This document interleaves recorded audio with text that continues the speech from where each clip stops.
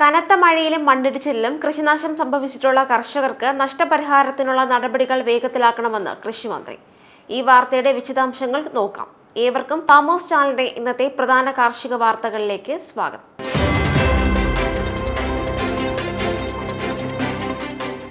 സംസ്ഥാനത്തുണ്ടായ കനത്ത മഴയിലും മണ്ണിടിച്ചിലിലും കൃഷിനാശം സംഭവിച്ചിട്ടുള്ള കർഷകർക്കുള്ള നഷ്ടപരിഹാരം നൽകുന്നതിനുള്ള നടപടികൾ വേഗത്തിലാക്കാൻ കൃഷിമന്ത്രി പി പ്രസാദ് നിർദ്ദേശം നൽകി. ഇതിനായി സർക്കാരിലേക്ക് സമർപ്പിക്കേണ്ട ക്ലെയിം നടപടികൾ ഉടൻ തന്നെ പൂർത്തീകരിക്കണമെന്ന് മന്ത്രി ഉദ്യോഗസ്ഥരോട് ആവശ്യപ്പെട്ടു.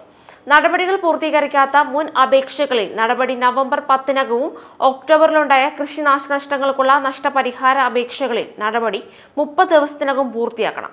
വീഴ്ച വരുത്തുന്ന ഉദ്യോഗസ്ഥർക്കെതിരെ കർശന നടപടി സ്വീകരിക്കുമെന്നും മന്ത്രി പറഞ്ഞു. ഭാവിയിലും നഷ്ടപരിഹാര അപേക്ഷകളിൽ ഒരു മാസത്തിനകം കൃഷിവകുപ്പ് നടപടി പൂർത്തീകരിക്കും. കഴിഞ്ഞ ആഴ്ചയുണ്ടായ ശക്തമായ മഴയിൽ ഇതുവരെ ഇരുന്നൂറ് കോടിയുടെ കൃഷിനാശമാണ് സംസ്ഥാനത്ത് കണക്കാക്കപ്പെട്ടിട്ടുള്ളത്.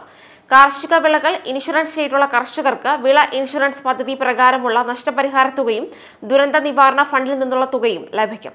വിളകൾ ഇൻഷുറൻസ് ചെയ്യാത്ത കർഷകർക്ക് സംസ്ഥാന ദുരന്ത നിവാരണ ഫണ്ടിൽ നിന്നും നഷ്ടപരിഹാര തുകയാണ് ലഭിക്കുക. ഇവ ലഭ്യമാകുന്നതിനായി സർക്കാരിലേക്ക് സമർപ്പിക്കേണ്ട ക്ലെയിം അടക്കമുള്ള രേഖകളാണ് ഉടൻ സമർപ്പിക്കുവാൻ മന്ത്രി നിർദ്ദേശിച്ചത്.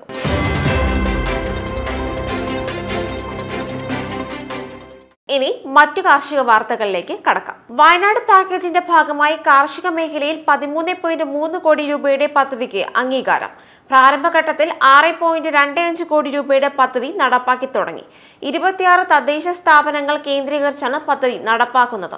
കർഷകരുടെ മുഖ്യ വരുമാന മാർഗമായ കാപ്പി കുരുമുളക് കൃഷിക്ക് പുറമെ ജാതി ഇഞ്ചി മഞ്ഞൾ തുടങ്ങിയവയുടെ കൃഷി വ്യാപനവും ലക്ഷ്യമിട്ടാണ് പദ്ധതി നടപ്പാക്കുന്നത്. പുതുതായി കുരുമുളക് തോട്ടം വെച്ചുപിടിപ്പിക്കാനും നിലവിലുള്ള കൃഷിയുടെ പുനരുദ്ധാരണത്തിനും കുരുമുളക് നഴ്സറികൾ സ്ഥാപിക്കാനും സൂക്ഷ്മ മൂലകങ്ങളുടെ ഉപയോഗത്തിന് പദ്ധതി പ്രകാരം ആനുകൂല്യം നൽകുന്നുണ്ട്. തെരഞ്ഞെടുത്ത പഞ്ചായത്തുകളിൽ ജാതി കൃഷി പുതുതായി വ്യാപിപ്പിക്കാൻ ജാതി തൈകളുടെ വില ഉൾപ്പെടെയുള്ള ഘടകങ്ങൾക്ക് ധനസഹായം നൽകുന്നുണ്ട്.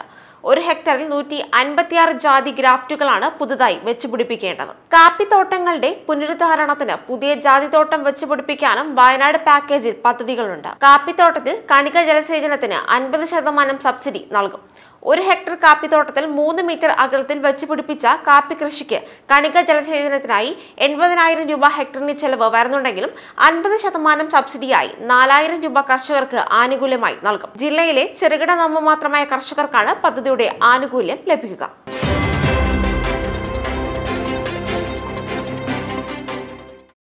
പ്രോട്ടോകോൾ കാരണം ദുരിതം വിട്ടൊഴിയാതെ അതിർത്തി ഗ്രാമങ്ങളിലെ കർഷകർ. കർണാടക കടക്കാൻ ഇനിയും ഇളവുകൾ നൽകിയില്ലെങ്കിൽ കൃഷി അവസാനിപ്പിക്കേണ്ടി വരുമെന്ന് അതിർത്തി ഗ്രാമങ്ങളിലെ കർഷകർ പറയുന്നു. R T P C R നിർബന്ധമാക്കിയ ഉത്തരവ് പിൻവലിക്കണമെന്നാവശ്യപ്പെട്ട് കർഷകരുടെ സംഘടനയായ N F P O Karnataka മുഖ്യമന്ത്രിയെ സമീപിക്കും. കോവിഡ് മഹാമാരിയും വിളകളുടെ വില തകർച്ചയും മൂലം കർണാടക അതിർത്തി ഗ്രാമങ്ങളിലെ ആയിരക്കണക്കിന് കർഷകർ കോടികളുടെ നഷ്ടമാണ് നേരിട്ടത്. കോവിഡ് നിയന്ത്രണങ്ങളുടെ മറവിൽ ചെക്ക് പോസ്റ്റുകളിൽ ഉദ്യോഗസ്ഥരുടെ പിടിച്ചുപറി കൂടിയതോടെ കൃഷി അവസാനിപ്പിക്കുകയല്ലാതെ ഇനി മറ്റ് മാർഗങ്ങളില്ലെന്ന് കർഷകർ പറയുന്നു. കോവിഡിന്റെ ഒന്നാം തരംഗത്തിൽ അതിർത്തി ഗ്രാമങ്ങളിലെ കർഷകർക്ക് കർണാടകയിലേക്ക് കടക്കാൻ പ്രത്യേക പാസ് സംവിധാനം ഏർപ്പെടുത്തിയിരുന്നു. എന്നാൽ പാസ് പിന്നീട് പുതുക്കി നൽകിയില്ല. വിഷയത്തിൽ ഹൈക്കോടതി ഇടപെടണമെന്നാണ് യാത്രക്കാരുടെ അതിർത്തി ഗ്രാമങ്ങളിലെ കർഷകരുടെയും ആവശ്യം.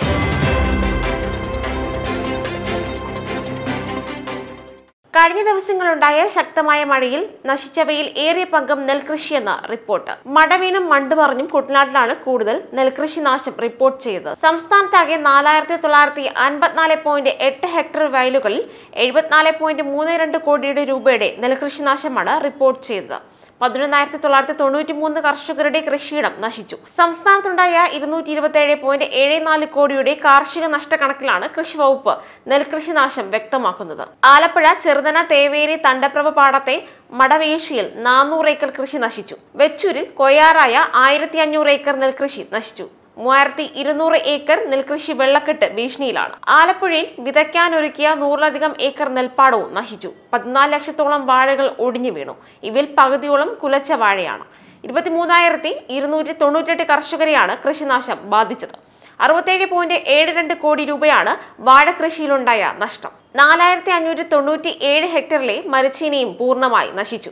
മുപ്പത്തിയൊന്ന് പോയിന്റ് പൂജ്യം എട്ട് കോടി രൂപ മരിച്ചിനി കൃഷിക്കാർക്ക് നഷ്ടമായി. ടാപ്പ് ചെയ്ത് തുടങ്ങിയ അറുപത്തി അയ്യായിരത്തി ഇരുന്നൂറ്റി പത്ത് റബ്ബർ മരങ്ങളും ടാപ്പ് ചെയ്യാത്ത ആറായിരത്തി എണ്ണൂറ്റി ഇരുപത്തിരണ്ട് മരങ്ങളും ഒടിഞ്ഞു വീണു. പതിനാല് പോയിന്റ് രണ്ട് നാല് കോടിയുടെയാണ് നഷ്ടം.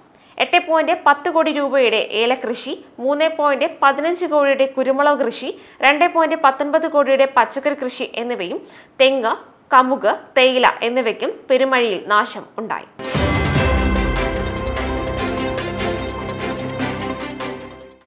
കാലവർഷക്കെടുതിയെ തുടർന്ന് വായ്പകളുടെ മൊറട്ടോറിയം നീട്ടാൻ സംസ്ഥാനതല ബാങ്ക് സമിതിയോട് ആവശ്യപ്പെടാൻ സർക്കാർ തീരുമാനം. വിദ്യാഭ്യാസ കാർഷിക വായ്പകളുടെ മൊറട്ടോറിയം ഡിസംബർ മുപ്പത്തിയൊന്ന് വരെ നീട്ടണമെന്ന് ആവശ്യപ്പെടാനാണ് മന്ത്രിസഭാ യോഗത്തിൽ തീരുമാനമായത്.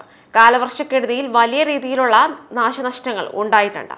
ഈ സാഹചര്യത്തിൽ സാമ്പത്തിക പ്രതിസന്ധിയെ അതിജീവിക്കാൻ മൊറട്ടോറിയം നീട്ടാനുള്ള നടപടി സ്വീകരിക്കേണ്ടത് അനിവാര്യമാണ്. കൂടാതെ കാലവർഷക്കെടുതിയുമായി ബന്ധപ്പെട്ട് ഇതുവരെ പ്രഖ്യാപിച്ചിട്ടുള്ള ധനസഹായങ്ങൾ വേഗത്തിലാക്കാനും സർക്കാർ ജില്ലാ കളക്ടർമാർക്ക് നിർദ്ദേശം നൽകി.